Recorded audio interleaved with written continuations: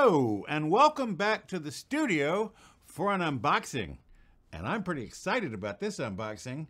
This is my first Mac in 15 years. If you watched my last video about the Vision Pro, you'll know that I really want one, but I can't buy one. But they did announce something I could buy, the MacBook Air 15 inch. So I had to spend my money. Apple had sucked me in and here we are. There's a much longer story, which I'm about to tell. But if all you care about is what's, what's in, the box? box, skip to the next chapter and we'll start opening it. But first, I'm going to tell you a 40 year long story of my association with Macintosh and all things Apple, which I kind of alluded to in the Vision Pro video. You really should go watch it. It's, it's one of my most popular videos. By the way, I have a lot of new subscribers because of that video. In that video, I mentioned that I bought the original Macintosh day one.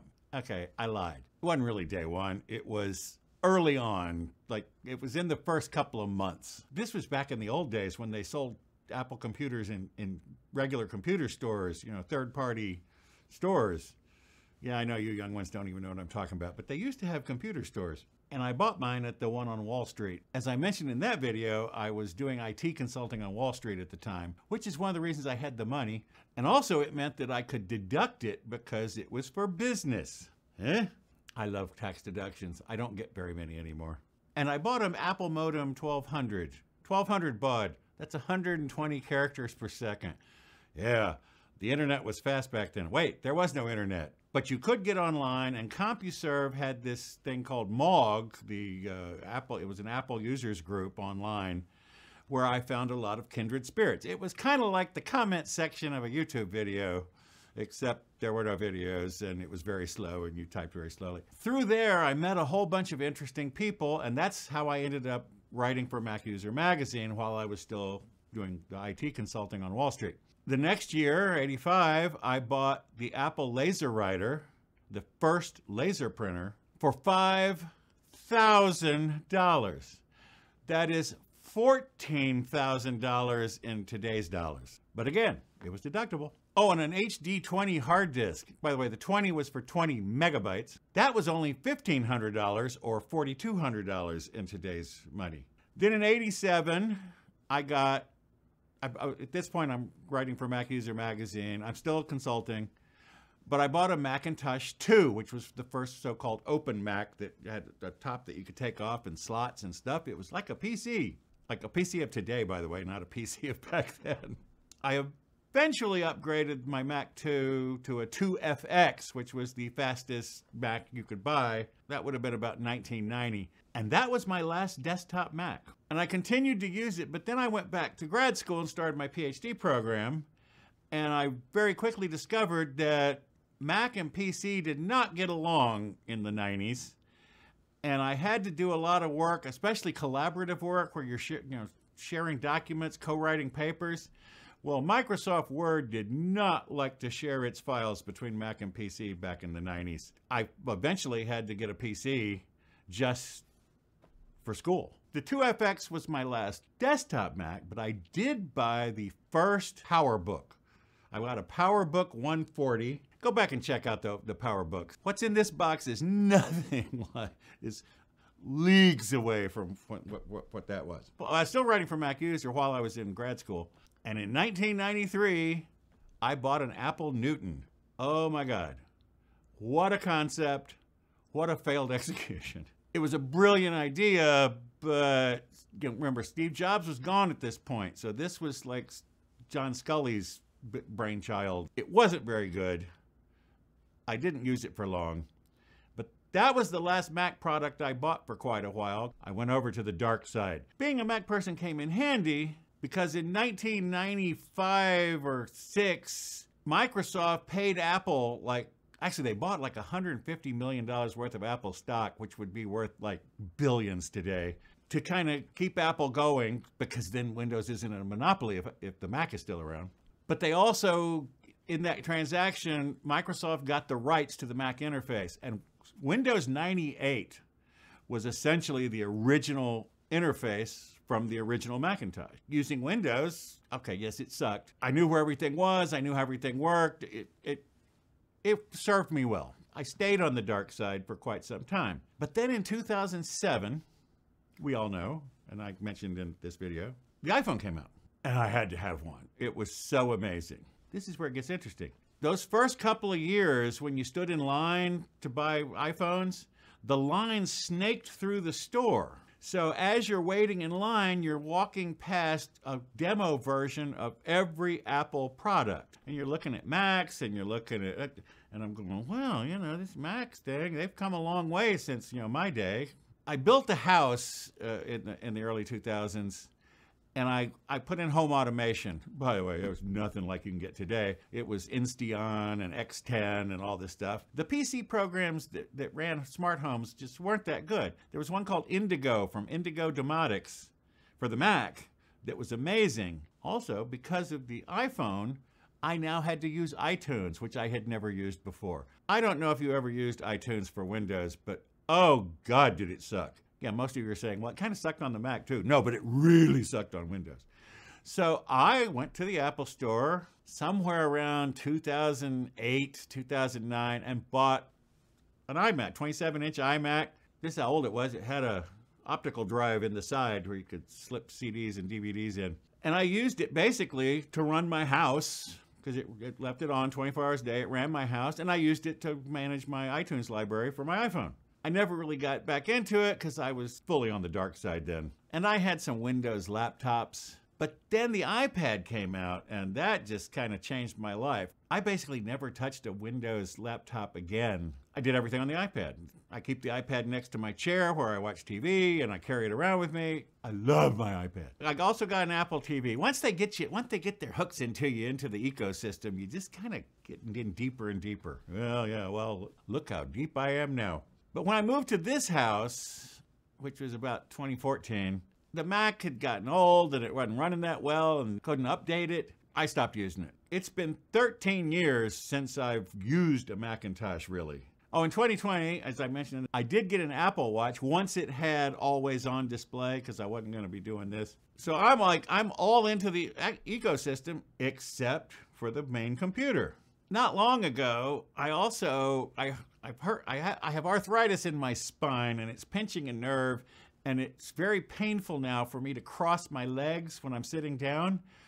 Well, when you're using an iPad in your lap, you kind of need something to prop it up. And you're thinking, well, you could have gone and bought something. Yeah, or I could get one of these. So I did. Well, let's get in here and see what I got. So this is the 15 inch MacBook Air. Well, I love Apple's packaging. Look, it even has extra extra padding here, but yet yet yet still environmentally friendly. Here is the magic box. This is the other thing I love about Apple.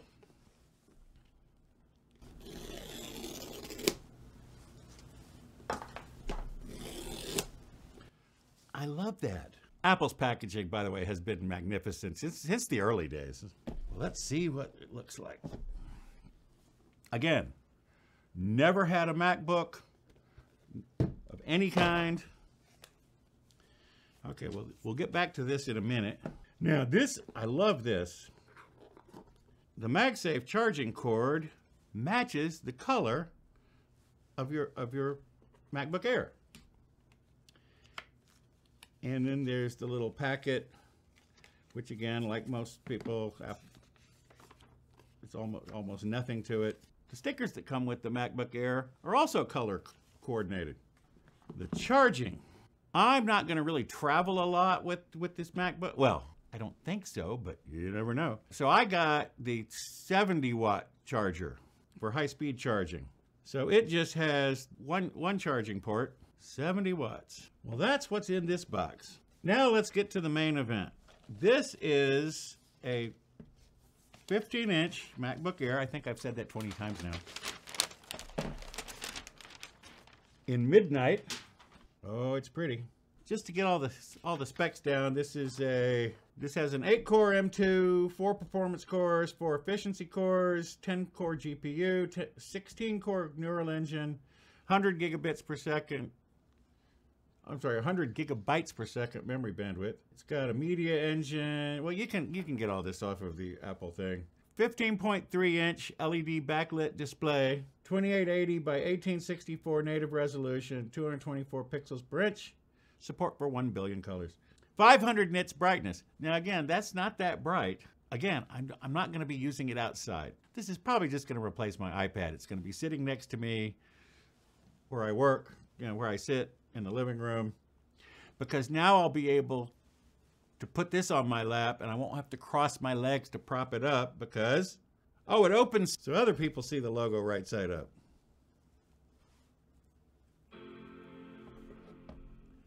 I know that sound.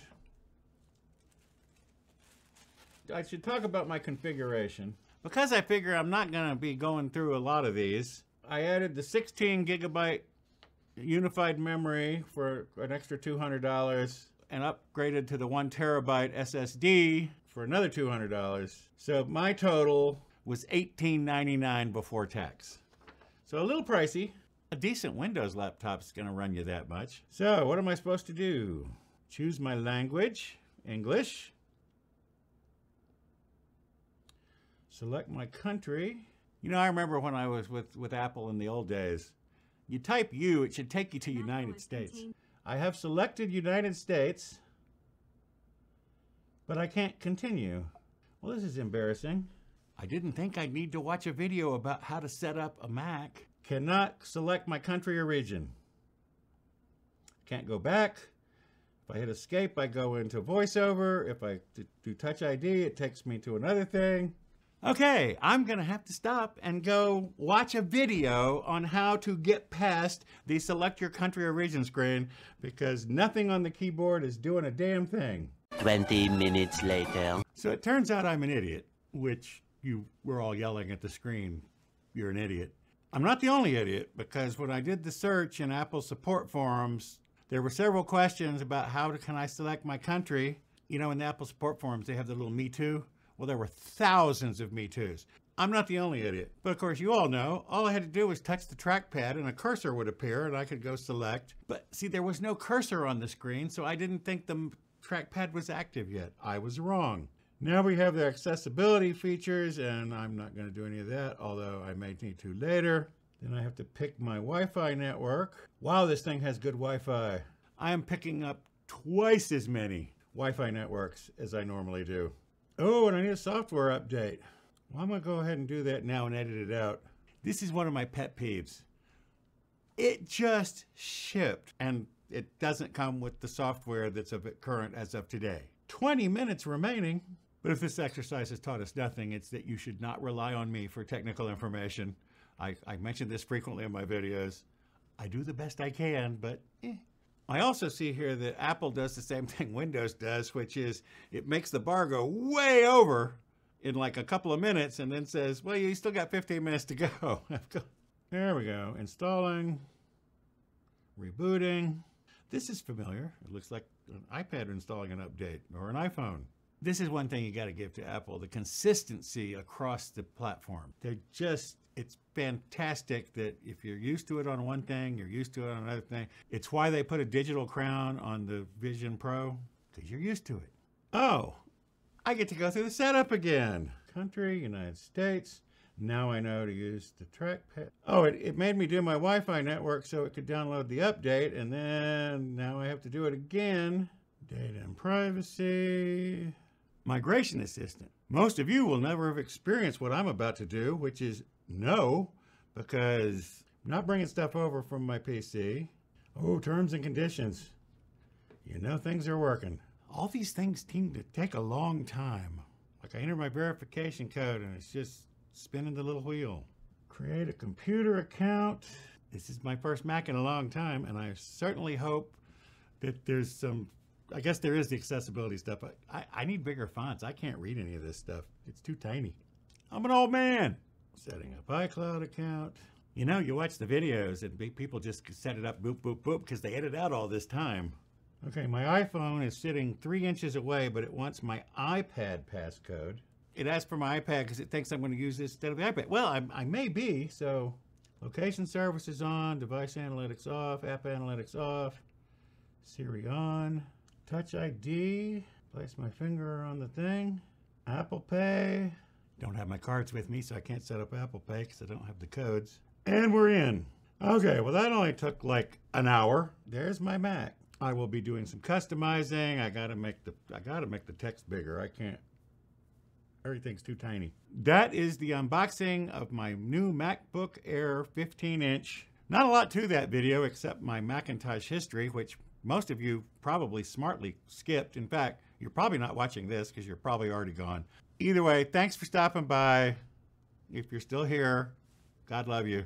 There's going to be more Mac content on the channel because I'm going to have to get this set up. I am going to move some stuff over from my PC. And for that, I have a product I have bought, which I will be doing a unboxing and setup. It's, it's actually, there's assembly required. That'll be coming up in a week or two. So there's more Mac content coming, more Apple content coming. I'm all in now, right? I have a, MacBook Air, iPhone, iPad, Apple Watch, and please, please, please, I want to have a Vision Pro so badly. It will be mine. Anyway, thanks for stopping by. See you next time. Bye bye.